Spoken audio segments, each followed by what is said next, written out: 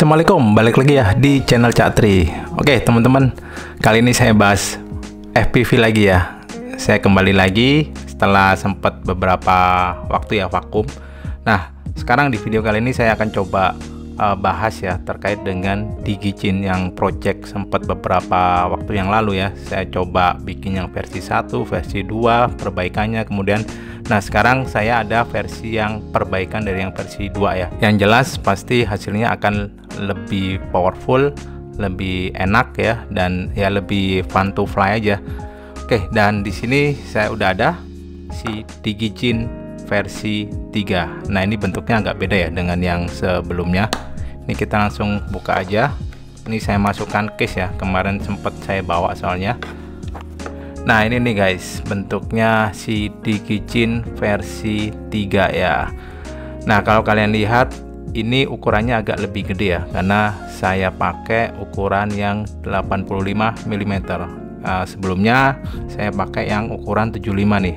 Saya pakai frame yang ini nih framenya si Beta 75 ya.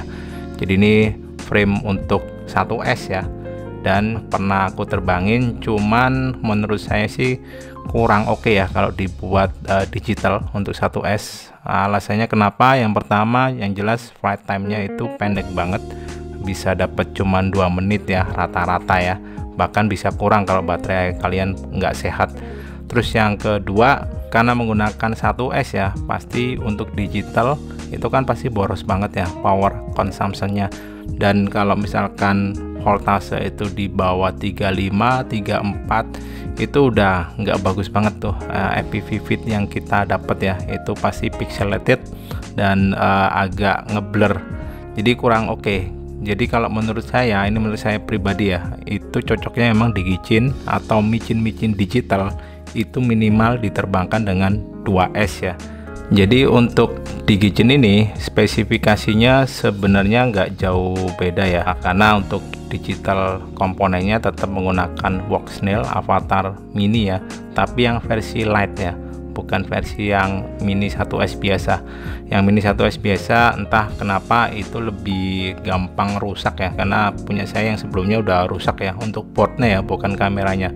Untuk boardnya itu gampang banget rusak. Ketika crash tahu-tahu hasil di gogglesnya itu tiba-tiba gelap ya dan nggak bisa nyala sampai sekarang. Walaupun secara LED itu bisa nyala aku nggak tahu kenapa uh, tapi yang jelas untuk yang versi perbaikannya ya atau versi generasi setelahnya yang mini 1S Lite itu lebih bandel ya. Sepertinya sih lebih bandel karena saya sempat nge-crash ini beberapa kali dan masih bisa jalan Oke balik lagi ya ke sini. Ini untuk spesifikasinya saya jelaskan satu-satu ya. Karena untuk digicin yang versi 3 ini ini yang menurut saya itu yang paling sesuai ya. Karena ini udah cocok banget dengan karakter terbang yang biasa aku terbangin ya untuk uh, micin. Nah untuk spesifikasinya kalau kalian lihat untuk framenya untuk framenya ini saya pakai framenya si UZ85 ya. Ini frame 85 mm tapi agak unik agak uniknya kenapa? Karena 85 mm nya itu di baut motornya ini cuma tiga doang nih guys.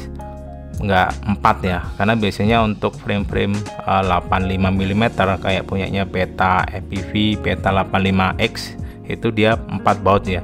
Ini dia hanya tiga baut ya. Jadi motornya pun juga akan pakai yang tiga baut.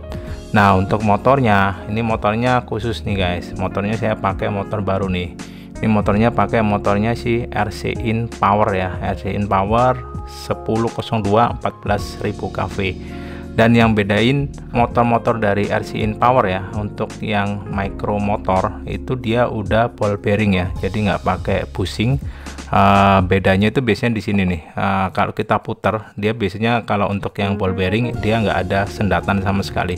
Biasanya kalau untuk yang masih bushing dia masih ada nyedat-nyedat sendiri Lalu perbedaannya apa sih kalau misalkan antara yang udah ball bearing sama yang bushing?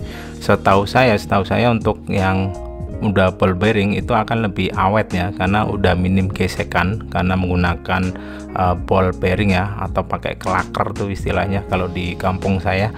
Nah itu dia akan lebih smooth ya dibandingkan kalau pakai bushing yang uh, ada masih ada gaya geseknya. Jadi lama kelamaan juga performa motornya juga akan menurun. Tapi kalau misalkan motor kalian sama-sama baru, sebenarnya kalau secara performa nggak ada bedanya sih mau yang ball bearing ataupun yang bushing. Itu menurut saya. Nah terus untuk uh, propellernya, untuk propellernya ini saya pakai yang dua blade ya, yang B blade. Ini pakai punyanya uh, game fan ya Kenapa pakai yang dua blade? Karena saya masih ngejar karakter micin yang saya pingin ya, yaitu nggak berisik. Karena rata-rata semakin kita bikin kuatnya semakin gede, biasanya akan semakin berisik ya. Karena otomatis motornya lebih gede, propellernya lebih gede, dan pasti suara yang dihasilkan dari noise motor dan propeller itu pasti juga lebih gede. Apalagi kalau ada ductednya kayak gini ya, ada probe guard Nah, dengan kombinasi seperti ini, ini motor 1002 dan propeller biblet, ini suaranya yang kalau aku bandingkan ya dengan Micin 1S itu hampir mirip nih guys. Jadi nggak berisik, nggak akan ganggu orang sama sekali. Oke, lanjut.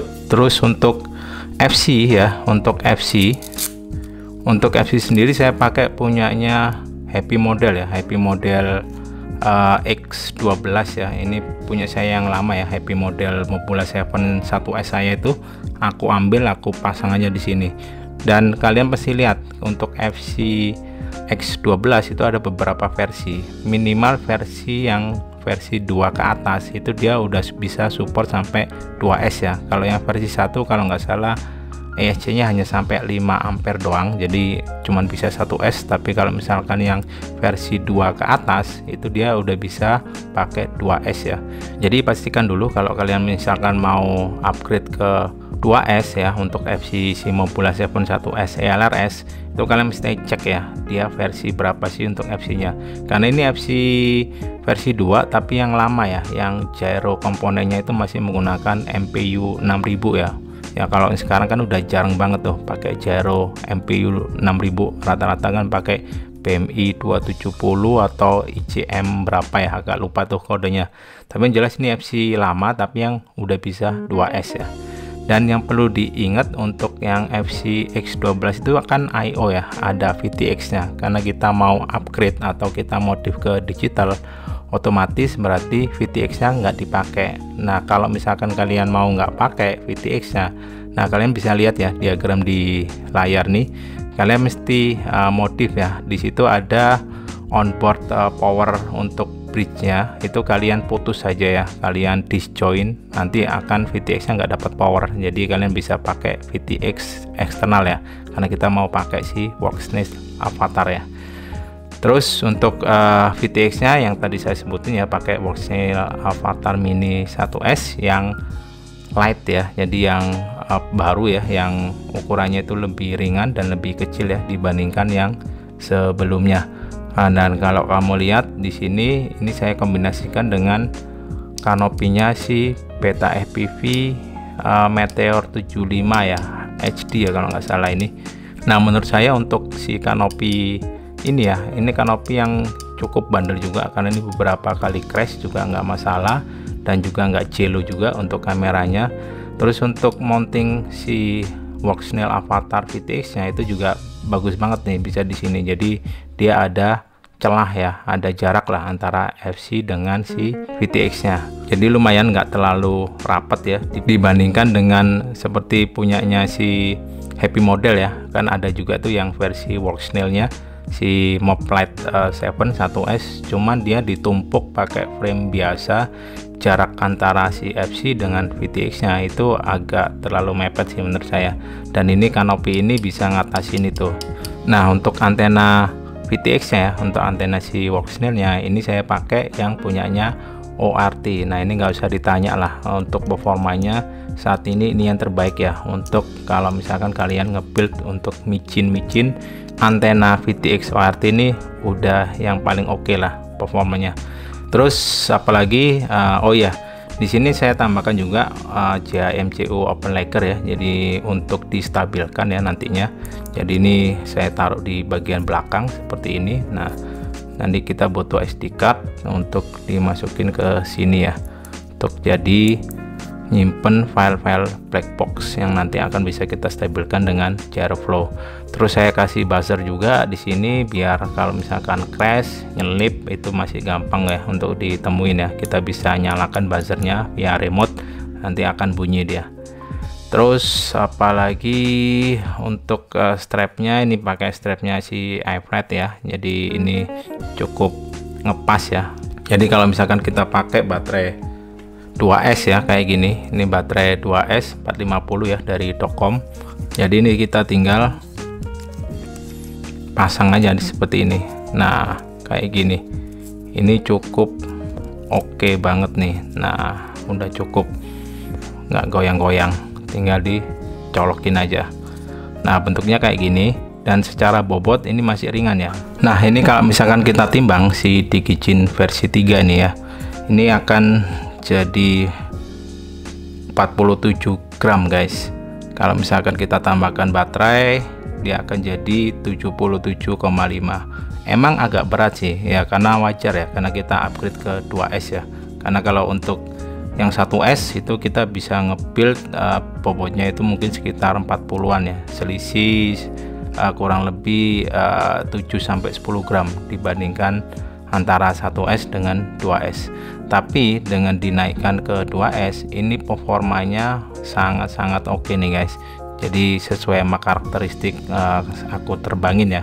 Jadi saya nggak hanya butuh untuk sebagai sinematik uh, scheme tapi juga untuk kalau kita mau agak ngegas-ngegas sedikit ya. Kalau misalkan kita ingin agak-agak sedikit freestyle itu masih oke okay kalau pakai 2S kalau pakai 1S digital wah lupakan lah kalau kita misalkan mau ngegas-ngegas ya mainin throttle. Nah ini kemarin udah sempet aku coba ya. Uh, ini aku build kemudian aku langsung bawa ya. Saya nggak cepet uh, tuning secara optimum tapi overall sih masih oke okay ya performa terbangnya. Karena dengan menggunakan 2S kalian bisa terbang itu bisa 4 sampai 5 menit untuk satu baterai. Jadi itu oke okay banget ya kalau buat micin digital. Kalau yang pakai 1S itu ya lupakan lah itu cuman bisa sampai 2 menit doang ya. Kalau misalkan kita agak ngebut. Oke, okay, paling dari saya itu aja bahasanya terkait dengan si Digicin versi 3 ya. Mohon maaf kalau emang agak jarang lagi ya untuk nge-upload uh, video terkait dengan FPV tapi insya Allah nanti akan saya tetap usahakan untuk mengupload konten-konten terkait dengan FPV ya ke depannya. Oh ya untuk wiring diagramnya ini kalian bisa cek aja ya di kolom deskripsi. Saya udah bikinin dokumennya juga secara PDF ya. Kalian bisa lihat dengan detail diagramnya seperti apa. Kalau misalkan kalian tertarik untuk nge-build model semacam ini.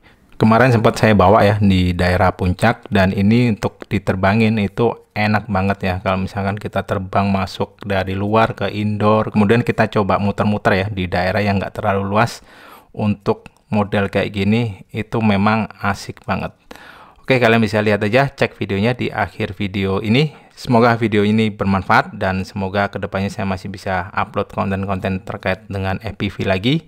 Dan sampai ketemu lagi di video-video saya selanjutnya. Thank you dan bye-bye.